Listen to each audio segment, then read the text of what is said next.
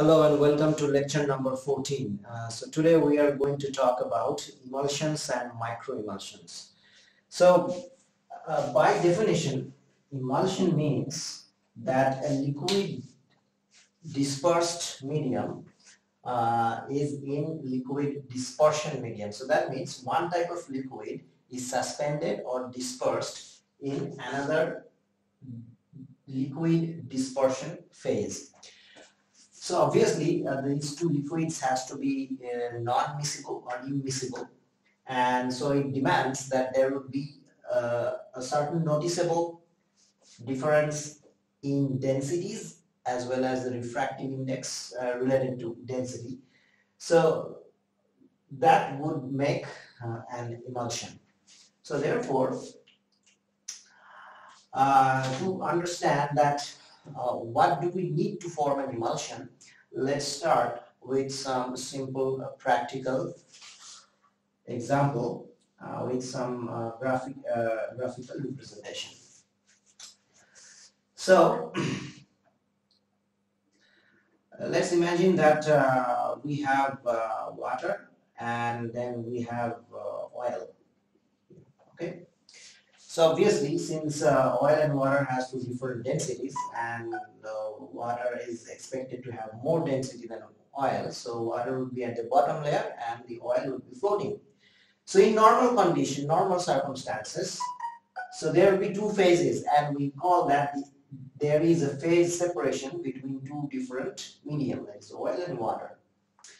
So now what happens that if I want to start start the the two phases vigorously all right? Means uh, violent stirring or if we whip it so a very strong whipping would make a scenario something like this. So let's we can imagine that the oil droplets so there would be fine finely suspended oil droplets in water.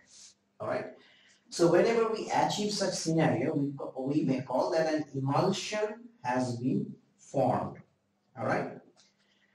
But you see, here the emulsion is formed basically due to mechanical stirring. Why I am uh, calling this as mechanical stirring?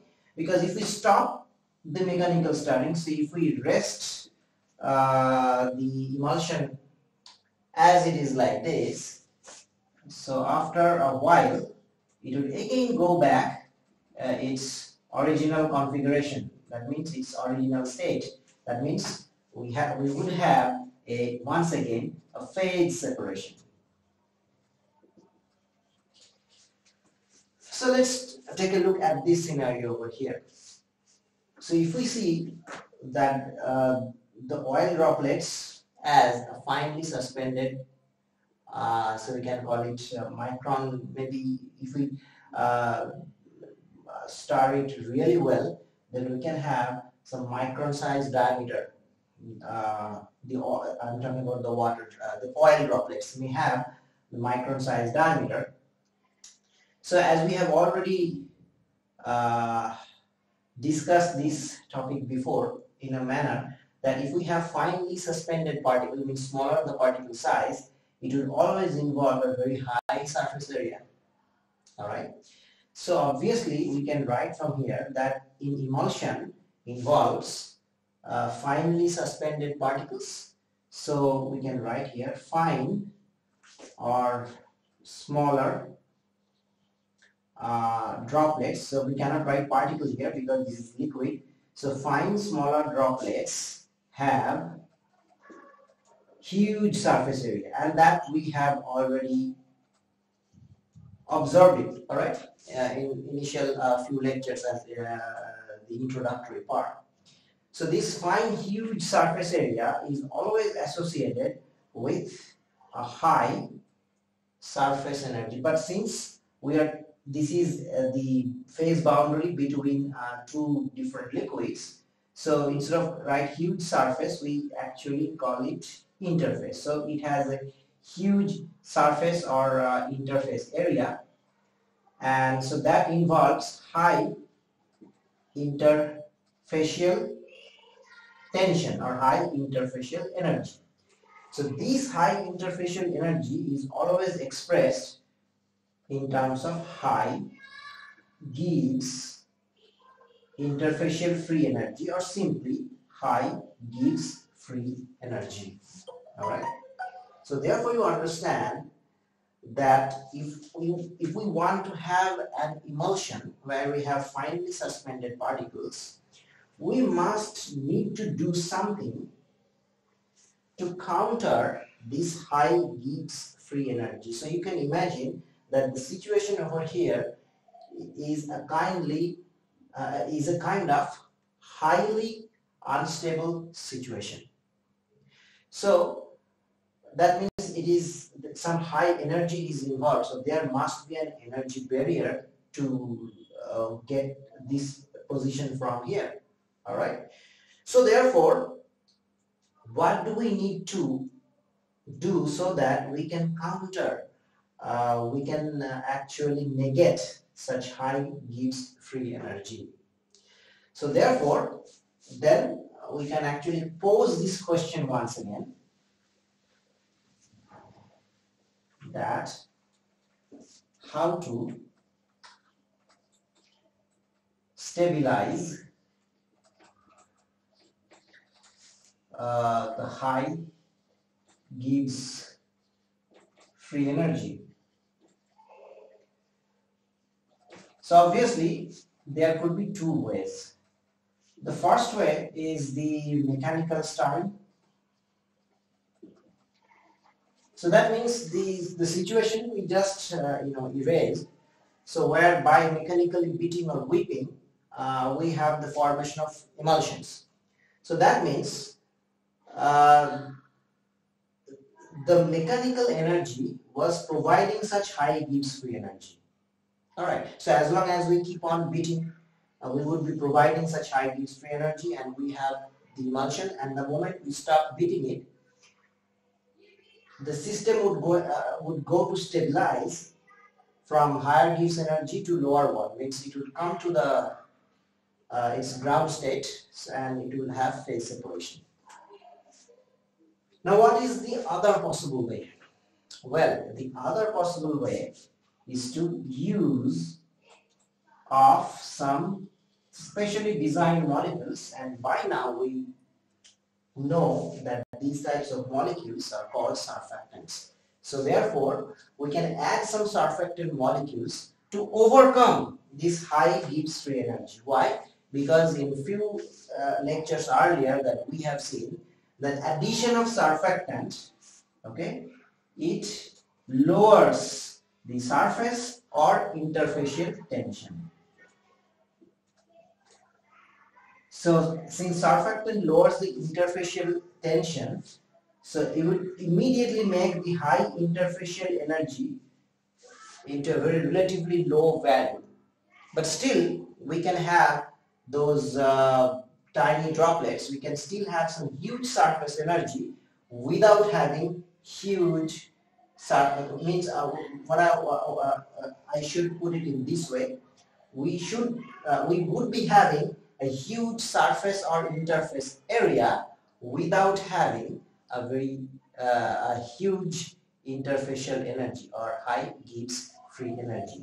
So that is the role of the surfactant okay so therefore the most important thing that we learned from this uh, discussion that apart from mechanical uh, beating so mechanical beating is uh, not a uh, sustained solution because uh, in many practical applications we need to have stable emulsion so stable emulsion means without doing anything it would stay as emulsion so therefore if I want to have such kind of stable emulsion we have to forget the mechanical beating.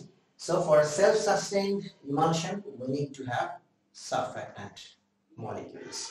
Alright, so let's clean the board and let's try to have uh, uh, an example or let's try to have an illustration to understand that how well does the surfactant lower the interfacial uh, energy so that we can have a very um, fine emulsion or even we can have microemulsion Okay, so let's talk about it more here. Okay. So now let's try to understand that how does surfactant uh, work to make emulsion. So imagine that we have uh, an air water surface. And if we keep adding surfactants so obviously uh, what we can expect that the surfactant molecules would go at the air water interface. That means the surface of the water. So therefore we can draw a picture like that okay? And uh, if we keep on adding sufficient number of surfactant so the entire surface would be fully covered with a monolayer of the surfactant molecule all right? So this is water and this is air. Now in this situation what would happen that we have basically a layer of hydrocarbon molecules now this layer can uh, be so compact that such long chain tail protruding towards the air can be or it can behave like a liquid hydrocarbon layer. So this layer we can say that may behave as a liquid hydrocarbon layer. Because there is so much of abundance of the long chain hydrocarbon tail. All right but as we mentioned before that these uh,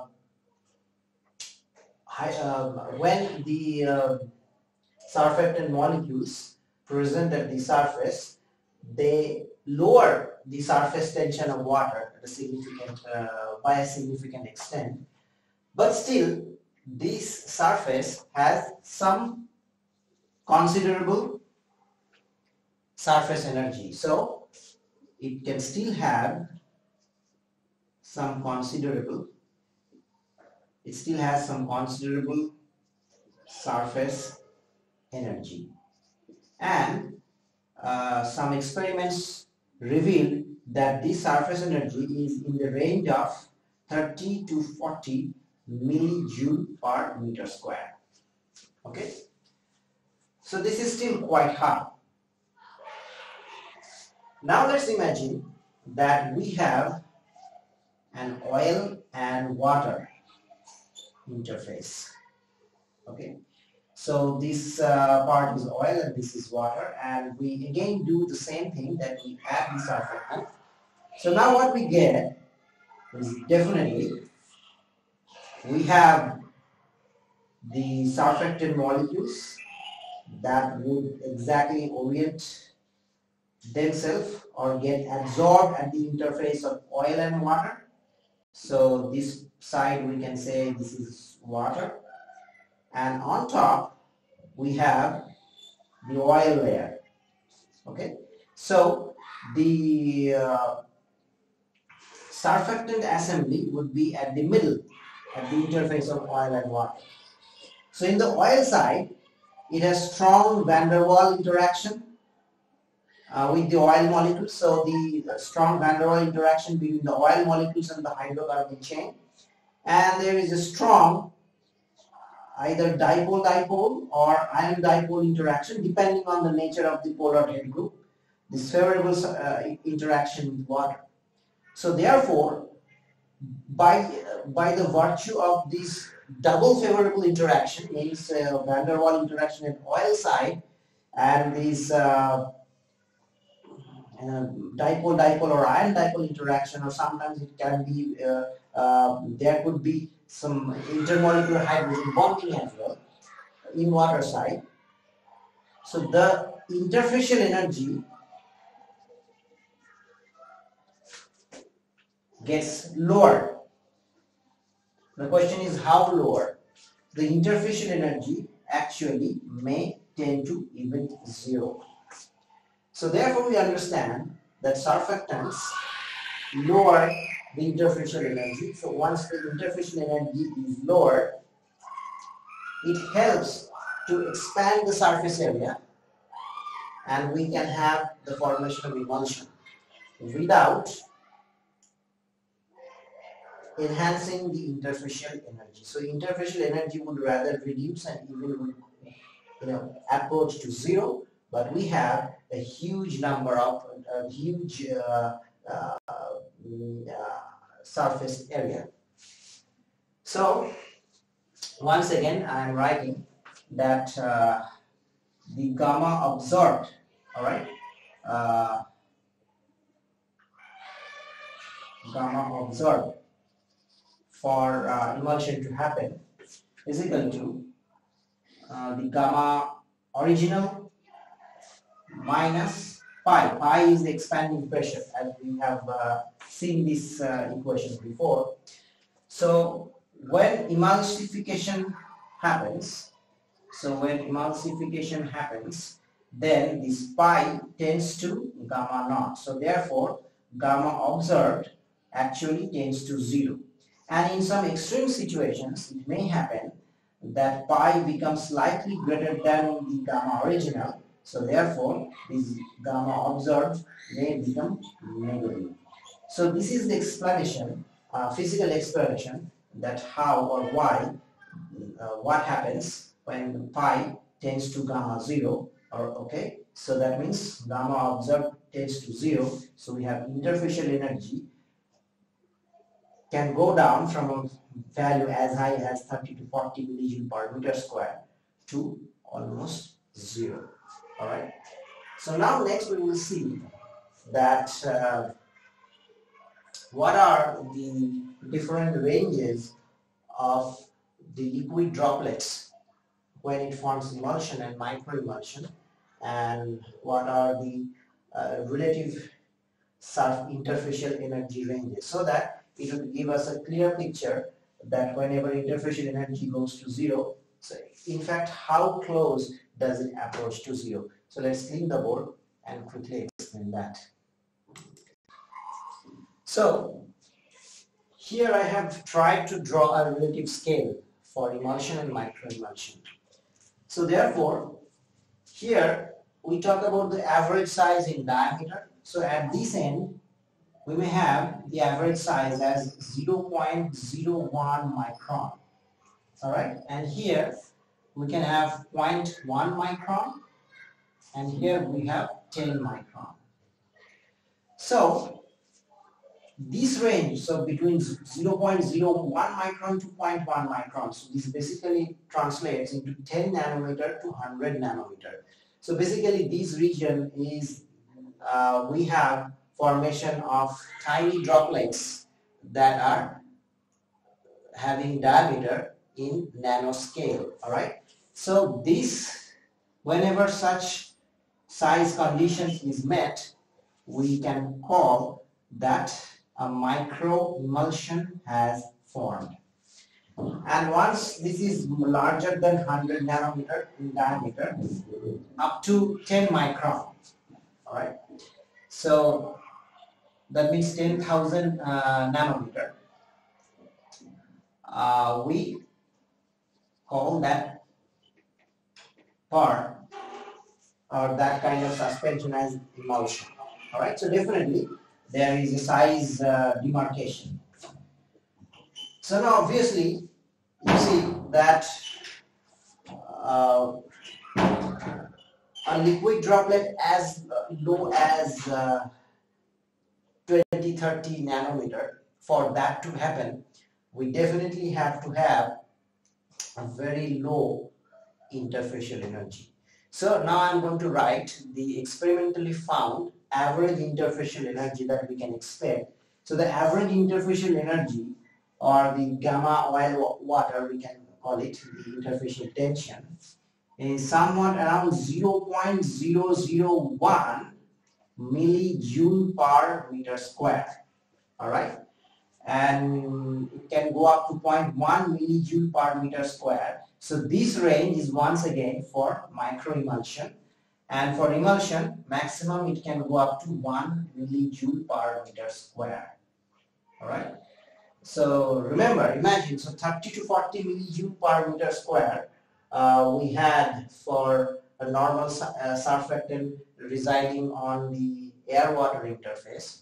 So once we start to uh, decrease that surface tension closer to zero uh, in presence of both two immiscible liquids, we can start to have the formation of emulsion first. So whenever the interfacial tension goes below 1, we can have the formation of emulsion up to 0.1 millijoule per meter square. Now even if we further lower the interfacial tension, we can have the formation of nano-sized liquid droplets. So that is the microemulsion and ex experimentally we can expect that it can go 0.001 millijoule per meter square usually.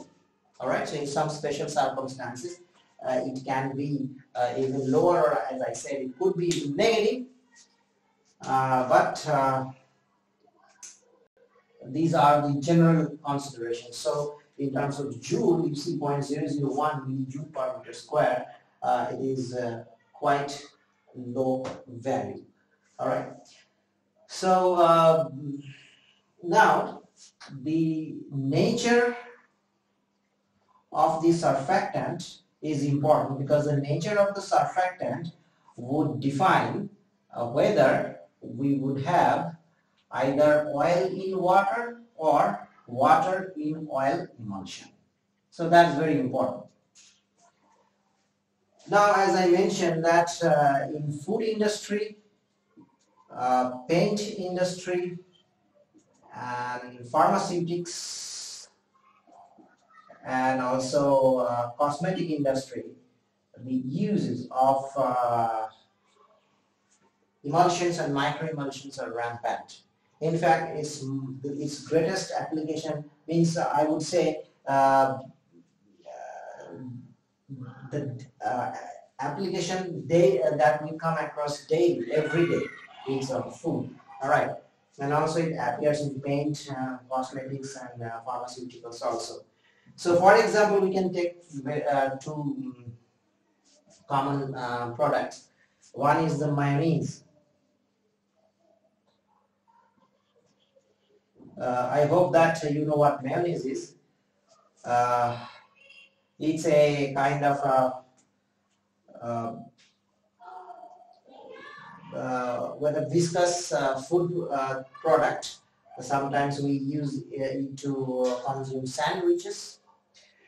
So uh, it is an emulsion and this is an example of oil in water emulsion. So what happens here?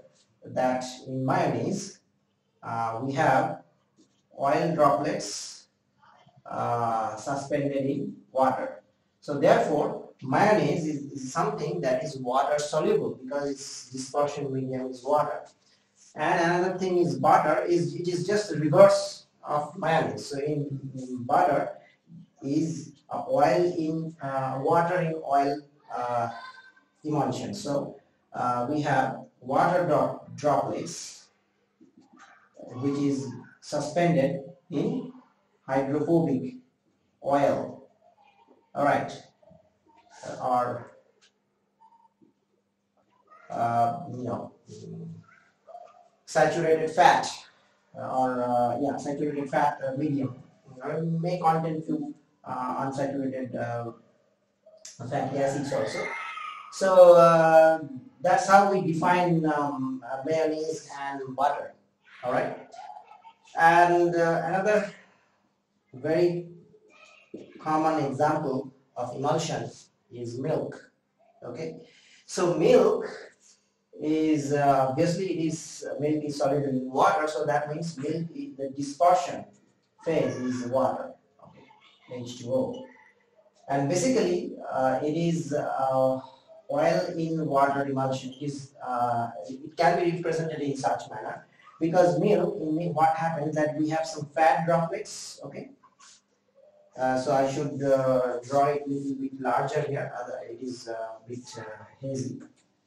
So we can try to describe it like that. So imagine we have a fat droplet okay? And uh, the dispersion medium is water but fat would not go in water like that as a droplet So for that, we have to have some surfactant molecules. Okay. So can you imagine what are the surfactant molecules here? The surfactant molecules are actually protein molecules. Okay, because remember, milk is a good source of proteins as well as fat. So, and uh, that's why sometimes milk is called a complete food because it has uh, like both protein, fat, and some other things also. Um, so whenever we have a nicely suspended fat particles and those particles are very tiny, almost close to microemulsion, uh, and nicely uniformly suspended in water, we call that thing not only milk but it is called homogenized milk. So milk when it is isolated from animals normally it doesn't stay as homogenized. So non-homogenized milk means um, sometimes the fat comes out of the water medium and it uh, floats on the water aqueous medium. All right. So uh, and uh, if we release uh, or if we remove the fat layer or if we decrease the amount of fat, we call it skimmed milk. Anyway, so uh, in whenever we do homogenization of milk, what we do, we make sure that those fat droplets are uniformly surrounded by right amount of proteins, protein molecules, so that we have a uniform dispersion. Okay, and so these days uh, we actually consume homogenized milk uh, that serve as a um, balanced uh, diet for us. So uh, anyway, so the bottom line is uh, that there are different types of uh, emulsions and microemulsions we use every day. Uh, so we are uh, going to discuss some of its application in paint uh, and food industry later. But um, right now, in the next topic, as the next topic, we will talk about a few salient aspects on the stability of these uh, emulsions and microemulsions. And uh, before we proceed further, uh, we just uh, try to, you know, acknowledge one more thing, that is the shape of, or we can write the form of uh, emulsion uh, suspension. All right. So uh, whenever we call droplet, droplet means uh, we are thinking that this is uh, a spherical uh, entity. So so we can write, and this is obviously true, that in majority of the cases we have spherical emulsion. That means the spherical liquid droplets that form the emulsion. But this is not the only case. In some other cases also, uh, the emulsion can be formed in terms of some irregular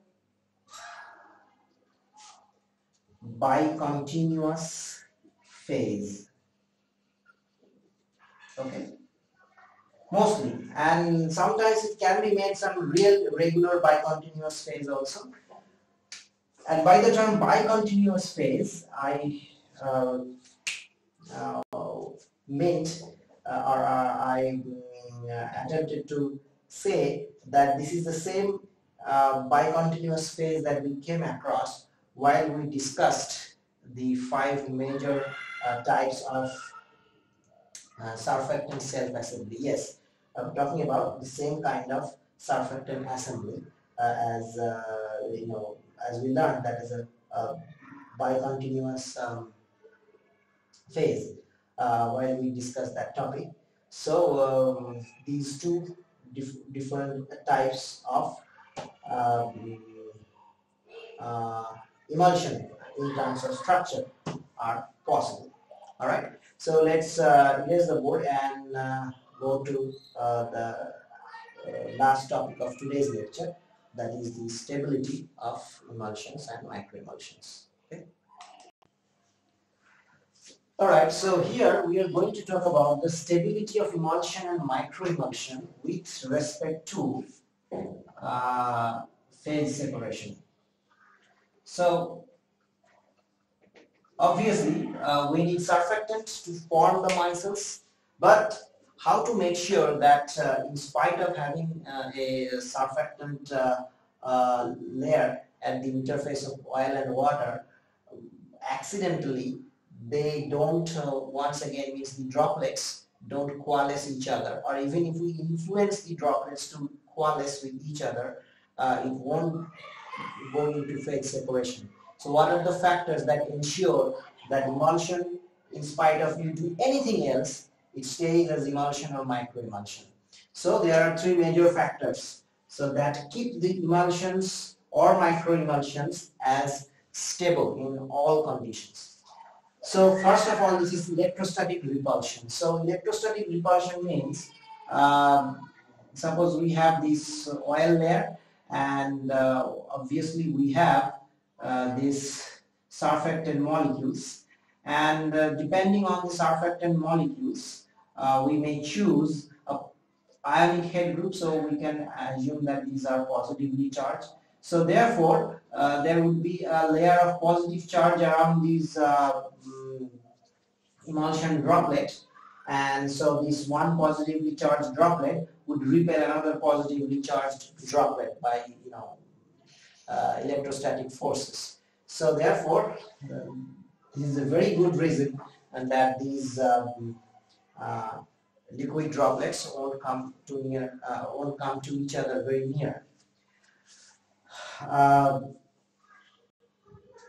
and then the adsorption of polymers and proteins. Uh, it happens in many natural cases, for example, milk. So automatically some polymers, means polar molecules, polar polymers and some proteins, they get adsorbed on the fat surface, liquid surface. Uh, so they as helps to stay, uh, they uh, help to help the oil medium to stay as nice uh, and stable dispersion in the form of emulsion or microemulsion in water all right so this is the, the second reason uh, is very important and the third thing is the most um, important reason uh, for a stable emulsion or microemulsion and, and uh, this third reason has uh, some industrial significance. Alright, so you can understand the importance of the third factor. So it's the adsorption of some finely divided clay or carbon particle. So as we have learned earlier, that in water, clay particles stay negatively charged, means clay source, finely divided clay, divided, uh, and uh, carbon particles also. But in the same reason, they may stay uh, as uh, you know, negatively charged. Um, so what happens, uh, and this, this happens uh, in natural cases. So this is, these are all natural phenomena. And uh, these mostly happen in natural petroleums. Um, so we'll come to that portion uh, part later on. Uh, but uh, these are the three major reasons that uh, we can have uh, our the emulsions or microemulsion can stay stable. Uh, now, before we go further, we have to talk a very important thing about microemulsion. Well, microemulsion, as we have uh, studied, that they have to satisfy certain size range. It is true. But apart from the size range, it also has some other significance. So let's take a look at that. Uh, well, if we think about the oil and water uh, phase separated interface, at this condition thermodynamically this is the most stable right, in absence of any surfactant. But if we start adding some surfactant, we may have an emulsion all right so emulsion although it is uh, uh, stable relatively stable and I mean uh, it is uh, uh, it has been made stable at this condition still we can call it a metastable phase or metastable state because it is the only the presence of surfactant that makes this thing uh, that accounts for its stability. The moment uh, the surfactants are gone, uh, it can it can be back to the oil and water, the phase separated scenario. So this is the thermodynamically most stable situation. But a very peculiar thing happens if these, uh, so this is emulsion. If these emulsions are made into something microemulsion. So in case of microemulsions, the gamma observed tends to zero or even it tends to be negative. So there are very tiny droplets we can observe here and surprisingly the microemulsions are thermodynamically more stable than the emulsion itself. So this is thermodynamically stable and this is thermodynamically stable but emulsion is a thermodynamically metastable state. And uh, no matter how we how well we try to describe the stability of this situation that we can say that well uh, we can have the surfactants uh, some surfactants that makes this uh, gamma observed goes to zero it is very hard to describe that uh, even though the gamma observed, observed is close to zero and negative how come this situation uh, becomes unusually stable? So I am repeating my statement that microemulsions are unusually stable. And it is so stable that it's it makes our life difficult. Why? So now we have come to the point to discuss something about liquid petroleum. All right? So liquid petroleum, once uh, the oil and natural gas corporation agencies, that means uh, the uh, petroleum extraction companies worldwide, when they extract the petroleum, um, that means the fossil fuel, so I'm just talking about crude fossil fuel.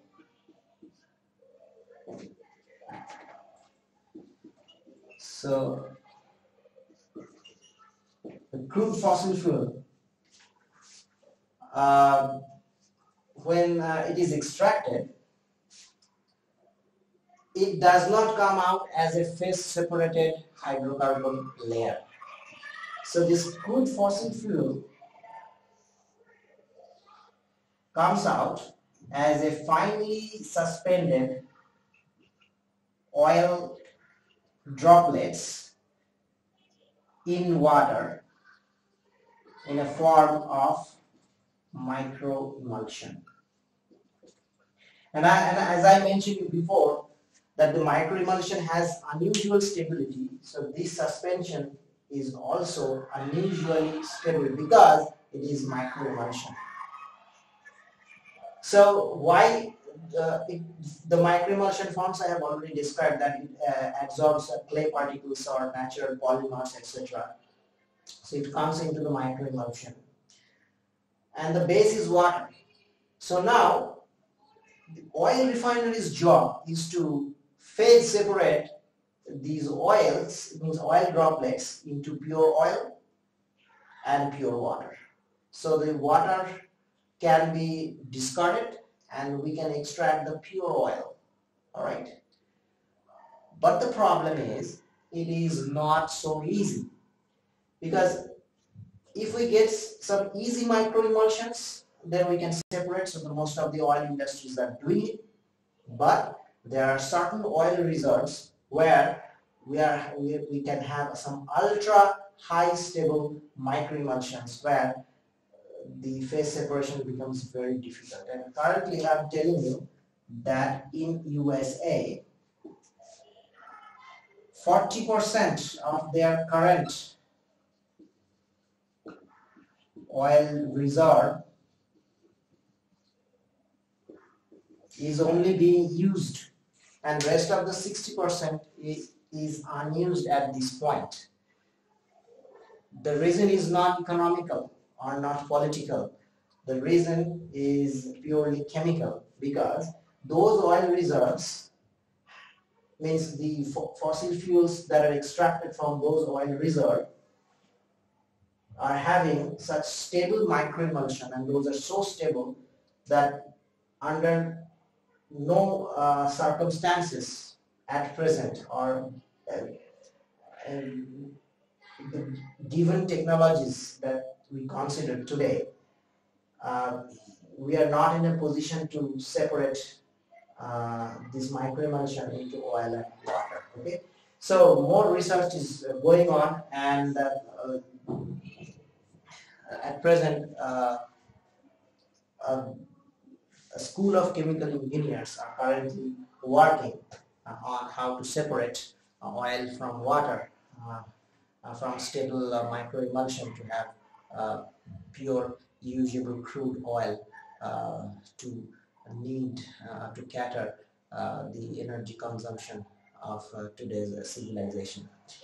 So okay, so that's all about emulsion and microemulsions for today's lecture. So in the next lecture, we are going to take another fundamental problem that if we have an oil-water uh, phase separated interface, if we add some surfactant, then what would happen? Alright, so we will take that on the next lecture. So uh, you stay put and please uh, study uh, the textbooks that I have shared with you alongside. And so I will see you in the next lecture. Till then, goodbye.